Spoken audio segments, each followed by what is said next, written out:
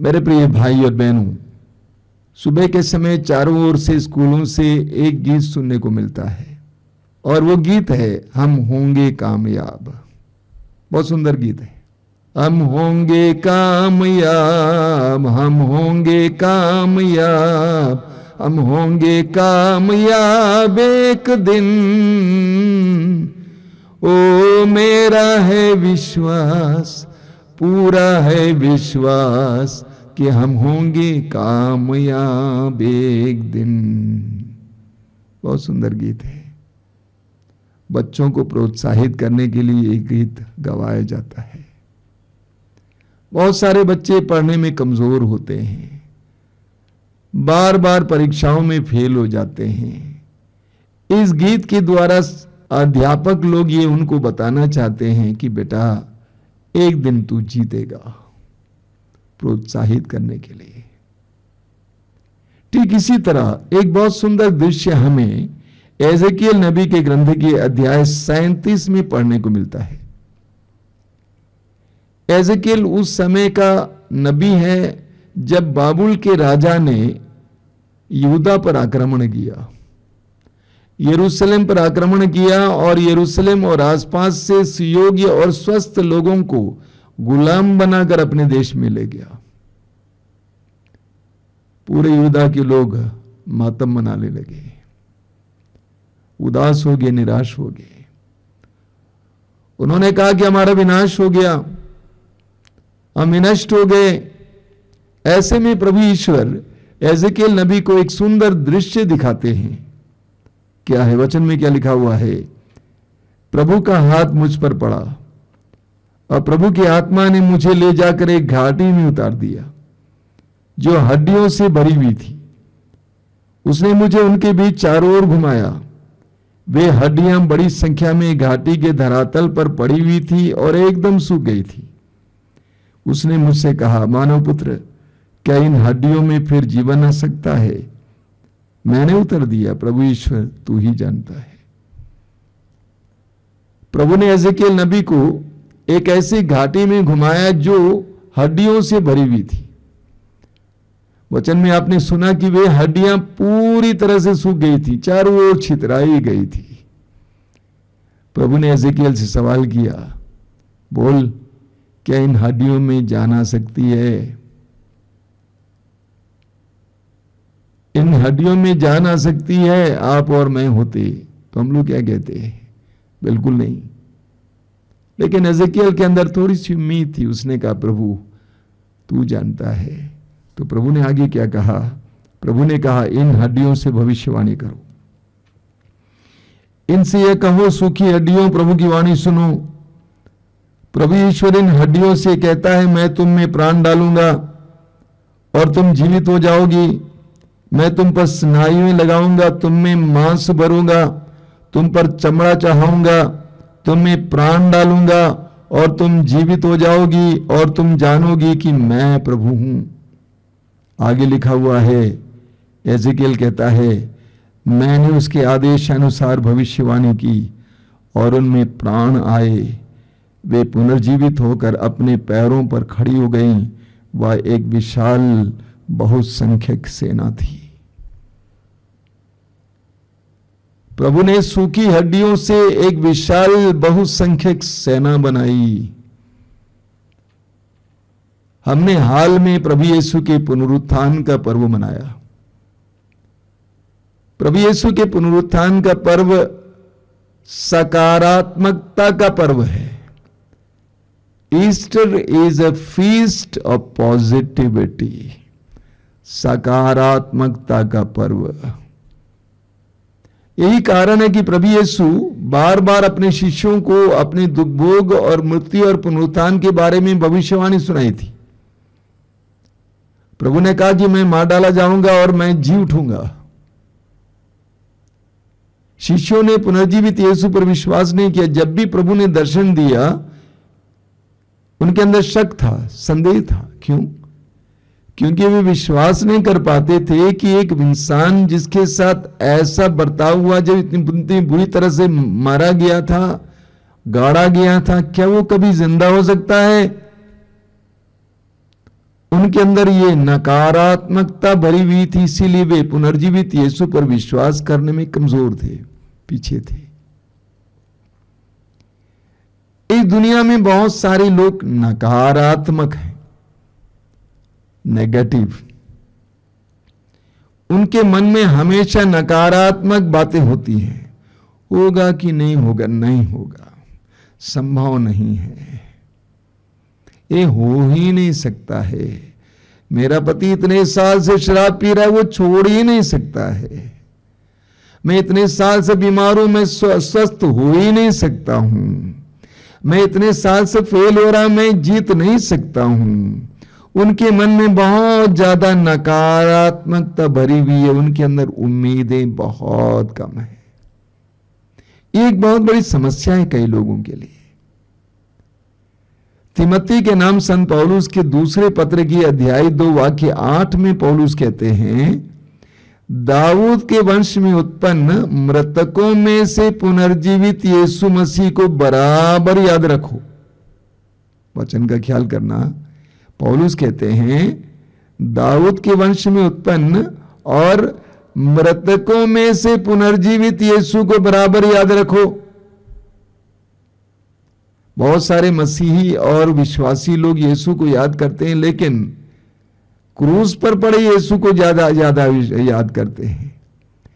पौलुस कहते हैं, मृतकों में से पुनर्जीवित यीशु मसीह को बराबर याद रखो। ये याद रखो कि तुम्हारा प्रभु मरा और लेकिन उसके बाद तीसरे दिन महिमा के साथ जी उठा है। पुनर्जीवित यीशु मसीह को बराबर याद रखो और आज इस समय मैं आपसे भी ये कहना चाहता हूँ।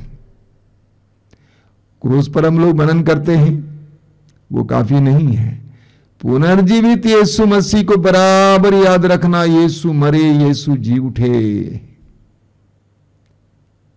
यौन के समाचार के अध्याय 16 वाक्य तैंतीस में प्रभु यीशु कहते हैं, ढारस रखो, मैंने संसार पर विजय पाई है।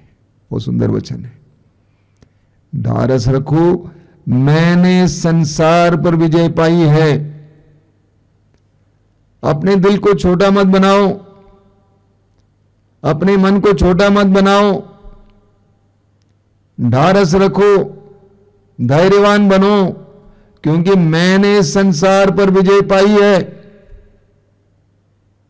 I have overcome the world मैंने संसार पर विजय पाई है, इसीलिए तुम भी सकारात्मक बनो। हम पढ़ते हैं लोह योहन के समाचार के अध्याय ग्यारह में। प्रभु यीशु लाजरुस की कब्र के सामने खड़े थे। लाजरुस मर गया और चौथा दिन था आज।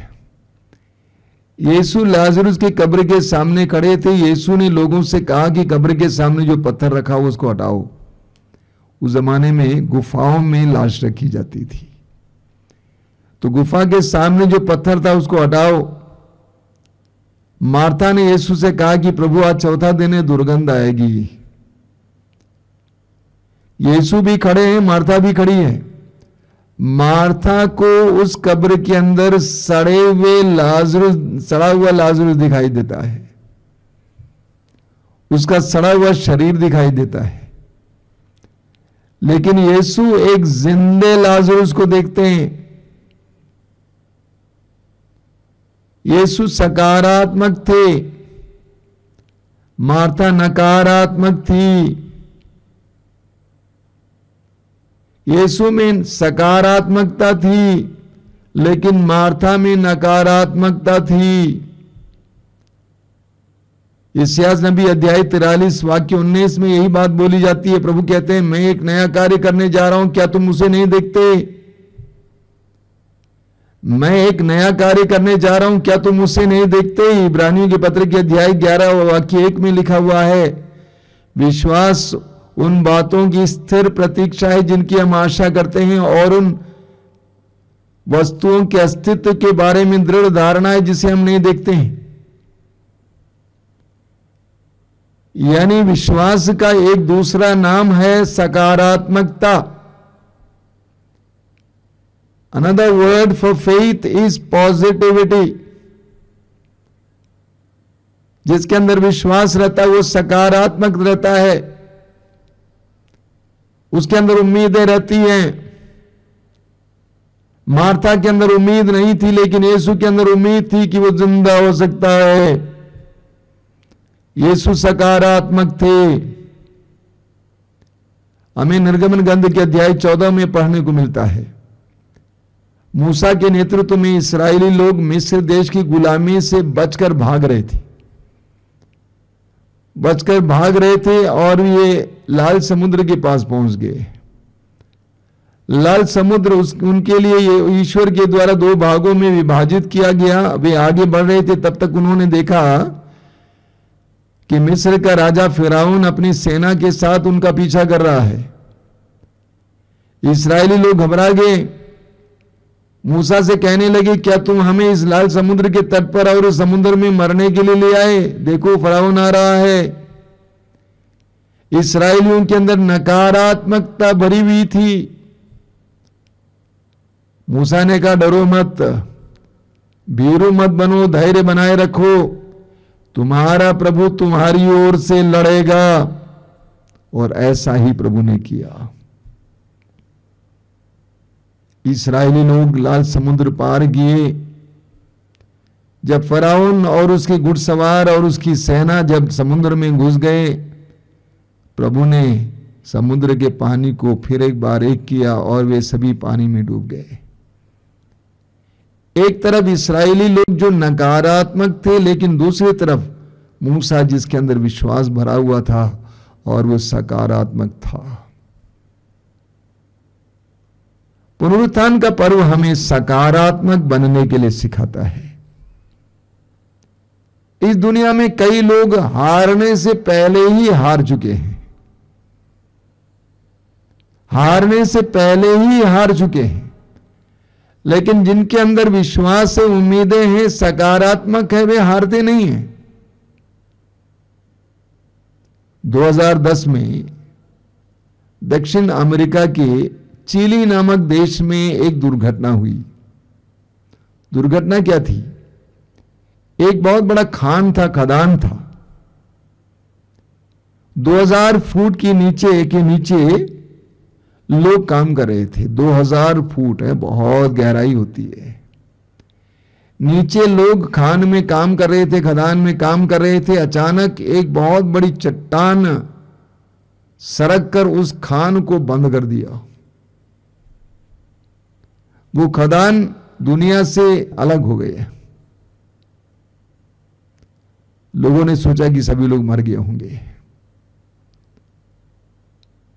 और कुछ दिनों में एक ड्रिल, एक बोरिंग मशीन भेजा गया। ये पता लगाने के लिए कि लोग ज़िंदा हैं कि मर गए हैं। जब मशीन नीचे गई और उसके बाद ऊपर आई तो उसके नोक पर एक कागज़ का टुकड़ा मिला, जिस पर लिखा हुआ था, हम सभी लोग सुरक्षित हैं, हमें बचाइए। चालीस पचास लोग उसके अंदर काम कर रहे थे। कई दिनों के बाद वे बचाए गए मतलब उनको बचाने में बहुत समय लगा। क्या हुआ था? उनमें एक व्यक्ति था जिसके अंदर बहुत ज़बरदस्त विश्वास था। वो यीशु पर विश्वास करने वाला ईश्वर विश्वासी व्यक्ति था। उसने लोगों से कहा, देखिए, आप घबराइए मत। हम लोग पूरा पानी नहीं पिएँगे थोड़ा थोड़ा पानी पिएँगे बचा बचा कर पानी पिएँगे ज़िंदा रहने के लिए। और हमारे पास जितना भोजन है, थोड़ा थोड़ा खाते रहेंगे। इतना ही नहीं, उस व्यक्ति ने विश्वास के द्वारा उन लोगों के अंदर मनोबल बढ़ाया। उनके अंदर जिस तरह गुब्बारे के अंदर हवा भरी जाती है, उसी तरह से उनके अंदर विश्वास, भरोसा और आशा भर के रखा। जब तक कि कई देशों की मदद से एक कैप्सूल जैसी चीज़ बनाई गई, जिसके अंदर एक एक व्यक्ति को लाया जा सकता था, ऊपर ऑक्सीजन सब फिक्स करके काफ़ी समय लगा एक एक करके बाहर लाने में। तब तक उस व्यक्ति ने जिसके अंदर विश्वास था, उन सब के अंदर सकारात्मकता भर के रखा। उम्मीद भर के रखा। उम्मीद भर कर रखा। सकारात्मकता भरकर रखा। प्रभु यीशु का पुनरुत्थान का पर्व वास्तव में सकारात्मकता का पर्व है। कब्र में रखा गया। इतने बुरी तरह से प्रभु मार डालेंगे। उनका शरीर चकनाचूर हो गया। लेकिन यीशु पुनर्जीवित हुए। सकारात्मकता का पर्व है। यह देखने को मिला है, एक प्रकार के अध्ययन का ये निचोड़ भी है कि कई लोग, कई रोगी जिनके अंदर इच्छा शक्ति ज़्यादा है कई रोगी जिनके अंदर इच्छा शक्ति ज़्यादा है, विश्वास ज़्यादा है, उम्मीद ज़्यादा है, आशा ज़्यादा है, सकारात्मक है, वे लोग बीमारी से बाहर आ जाते हैं आसानी से। लेकिन कई लोग जल्दी मर जाते हैं क्योंकि उनके अंदर जीने की इच्छा नहीं है इच्छा शक्ति नहीं है, घबराए हुए हैं, निराश हैं, उदास हैं, बहुत जल्दी मर जाते हैं। तो हमारे अंदर जब सकारात्मकता रहेगी इच्छा शक्ति रहेगी मनोबल रहेगा, उम्मीद रहेगी, आशा रहेगी तो बीमारियों से हमें छुटकारा भी जल्दी मिल जाता है। हम पुनर्जीवित यीशु के शिष्य हैं। हम पुनर्जीवित यीशु के लोग हैं, हम हारने वाले नहीं हैं। हम हारने वाले नहीं, हम जीतने वाले हैं। यीशु नहीं हारे, नहीं कभी हार सकते हैं। यीशु जीते। और यीशु पर विश्वास करने वाले भी कभी हारते नहीं हैं, बल्कि जीतते हैं। याकूब के पत्र की अध्याय एक वाक्य छह और सात में बहुत सुंदर वचन है। याकूब कहते हैं, विश्वास के साथ बिना संदेह के प्रार्थना करनी चाहिए। विश्वास के साथ बिना संदेह की प्रार्थना करनी चाहिए, क्योंकि जो संदेह करता है, वो समुद्र की लहरों की तरह है, जो हवा में इधर उधर उछाली जाती है। जो संदेह करता है, वो समुद्र की लहरों की तरह जो इधर उधर उछाली जाती है, ऐसे लोग कभी ये ना सोचें कि ईश्वर से उनको कुछ मिलेगा। यीशु पर विश्वास करने वाले, संदेह करने वाले नहीं होते वे सदा सकारात्मक होते हैं। उनके अंदर बराबर उम्मीद बनी रहती है। मत्ती के समाचार के अध्याय चौदह में हम जानते हैं। बड़े सवेरे जब अंधेरे था, यीशु पानी पर चलकर आए अपने शिष्यों को बचाने के लिए। क्योंकि शिष्य प्रतिकूल हवा से लड़ रहे थे। सारे शिष्य घबरा गए, चिल्लाने लगे, भूत भूत, प्रभु ने कहा, डरो नहीं, मैं ही हूँ। पेतरुस ने कहा, प्रभु, यदि आप हैं तो मुझे आदेश दीजिए कि मैं पानी पर चलूँ। प्रभु ने कहा, हाँ, आ जाओ। पेतरुस पानी पर चलने लगा। पेतरुस पानी पर चलने लगा। एक बहुत सुंदर प्रतीक है। हम विश्वासियों का जीवन, हम मसीहों का जीवन एक तरह से पानी पर चलने की तरह है। यीशु पर दृष्टि लगाए हुए वो पानी पर चल रहा था। एक विश्वासी की दृष्टि जब तक यीशु पर लगी हुई है, वो पानी पर चल पाएगा। कठिन परिस्थितियों में भी आगे बढ़ता रहेगा।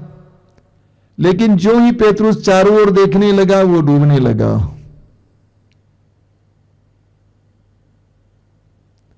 वो डूबने लगा। जहाँ पे शक आ जाता, संदेह आ जाता है वो डूबने लगता है। प्रभु ने पूछा कि, अरे, अल्प विश्वासी, तुमने संदेह क्यों किया? एक विश्वासी का जीवन, एक मसीह का जीवन संदेह से भरा जीवन नहीं है, बल्कि उम्मीदों से भरा जीवन है, सकारात्मक जीवन है। मती के समाचार के अध्याय इक्कीस वाक्य बाईस में प्रभु कहते हैं, विश्वास के साथ जो प्रार्थना की जाती है, सुनी जाती है। मार्कुस के समाचार के अध्याय पाँच की, वो नारी, जो रक्तस्राव से पीड़ित थी, बारह साल से परेशान थी। हमारे लिए एक बहुत सुंदर उदाहरण है। मार्कुस लिखते हैं कि वैद्यों पर वैद्य बदलने से उसकी स्थिति और खराब हो गई। और उसके पास कोई पैसा नहीं था, सब कुछ समाप्त हो गया था। यानी पूरी तरह से वो ज़ीरो बन गई थी। ऐसी परिस्थिति में उसके अंदर विश्वास जगता है, उम्मीद जगती है, आशा जगती है। यदि मैं यीशु नाजरी के कपड़े के पल्ले को छू लूँगी, मैं चंगी हो जाऊँगी, उसका हृदय मन पूरी तरह से सकारात्मक हो जाता है। और ये सकारात्मकता उससे चंगा करती है।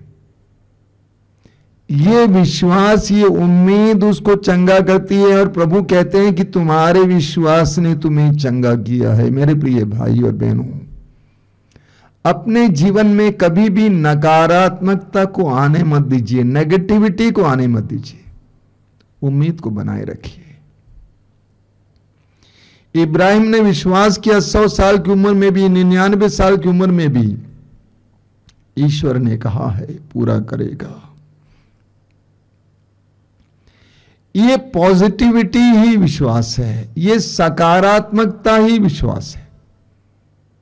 और कुछ अध्याय ग्यारह वाक्य चौबीस आप जानते हैं, प्रभु कहते हैं, प्रार्थना करते समय विश्वास करो तुम्हें मिल चुका है और वो तुम्हें दिया जाएगा। पहले से ये सोचना, पॉजिटिव सोचना, सकारात्मक सोचना कि मिल चुका है। प्रभु यीशु के पुनरुत्थान के पर्व से हमें यह संदेश मिलता है सकारात्मक बनो। नकारात्मक मत बनो। उम्मीद बनाए रखो, आशा बनाए रखो, निराश मत हो। देखो, मैं मर गया था, मैं जी गया हूँ, अनंत काल तक जीवित रहूँगा। प्रकाशना अध्याय एक वाक्य अठारह उन्नीस। डरो मत, आदि और अंत में हूँ।